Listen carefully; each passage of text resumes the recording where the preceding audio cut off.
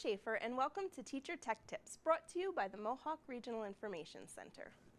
Today's tech tip is about Apple Classroom, which is an iPad app that teachers can use to monitor and manage their students' iPads in the classroom.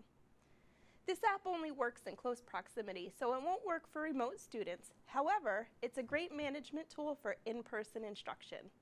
Let's chat about a few of my favorite features.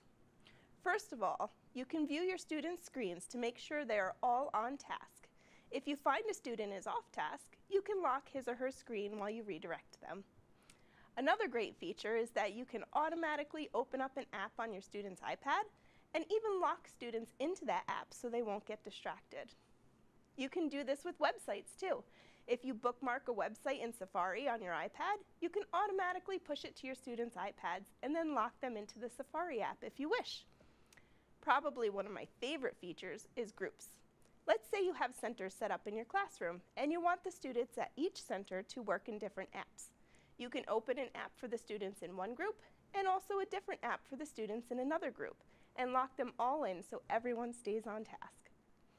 For keeping your kiddos accountable, even when you cannot watch their screens, the class summary feature will be your best friend. At the end of class, you can see who used what apps for how long and during what point of the class time. Screenshot this data to keep a running record of how students utilize their iPads during class. This was Teacher Tech Tips, and stay tuned for more.